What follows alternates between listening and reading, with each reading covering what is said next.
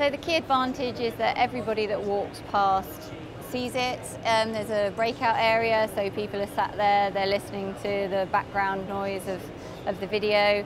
They're drawn to the interesting and innovative images on the screen, and I, I think it's a real draw for people to the stands. It's great that your stand number's up there. It's highly visual across the entire exhibition.